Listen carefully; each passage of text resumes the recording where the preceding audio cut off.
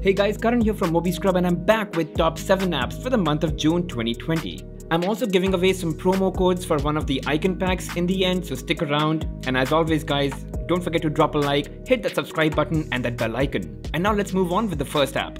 How would you like it if your phone's screen showed something like this while it was being charged? Of course, you can change all these colors and these animation styles. You can even place app shortcuts, get notifications, get weather info, and even define gestures. The app is called True Amps, and of course, the link is in the description below, so go get it. Now, what do you think about these wallpapers? I love the color, they're really high resolution, and they're super unique. It's from this app called Unusual Wallpapers, and they've got a simply brilliant collection. Reminds me of another wallpaper app called Wall Rod. It's very similar, but the wallpapers are actually very unique and different. Now, I'm giving away 20 promo codes for this app, so just follow me on my Instagram and send me a DM. I'll send over the promo code. Next, how many times you look at something on a screen and you want that text? Well, all you have to do is take a screenshot, tap on the share icon, and then select this option called copy text on screen. Once you do that, the app, which is copy text on screen, automatically extracts all the text that it sees on the screen by analyzing it and makes it available for you to select and then copy or share to whoever you want. As I said, the app is called Copy Text on Screen and you can get it on the Play Store for free.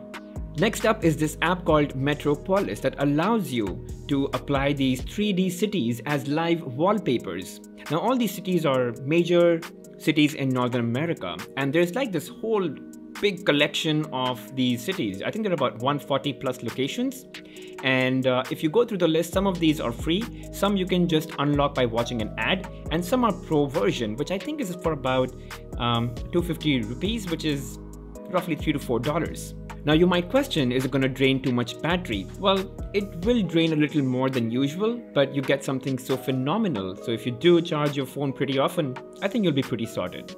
And next up is this game called Traffix. It's really simple, yet it's very challenging.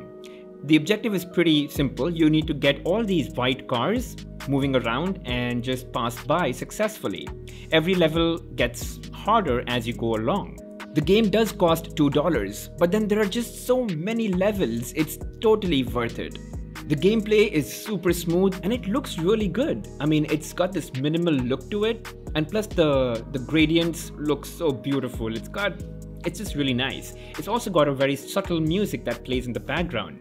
And as you can see, the levels do get harder and it's all about organization and you know managing chaos.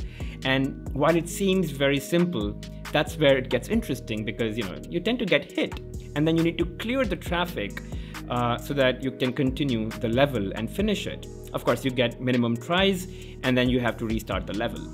And coming up next is this really great icon pack that I've been raving about. It's really good looking, it's got vibrant colors, it's got a play of shadows, and it's called Folds Icon Pack. The only problem is that it's only got 650 icons that it covers, but it just looks so good that I was actually motivated to just get those out on my home screen. And I do have 20 promo codes to give away, so definitely follow me on Instagram and DM me there. The last app in the list is called Steno Notes. So these are folders or hashtags that you may have created or added while taking a note. And of course, filtering by these folders is as simple as just tapping on them and you get notes that belong to that specific folder. Taking a note in itself is super simple, no complication. You just add a note, you give it a title, and then you can add stuff to it. If you want to create a new folder or if you want to club it in a specific folder, just add that hashtag wherever within the note. And it automatically clubs it either to the, to the existing uh, folder or creates a new folder like it did in this case. And while there are a bunch of feature packed note taking apps, but if you want a simple one, then this is the one you can actually try. And that's it from me guys. I hope this was helpful. Don't forget to drop a like, hit that subscribe button and that bell icon. I'll see you guys in the next one.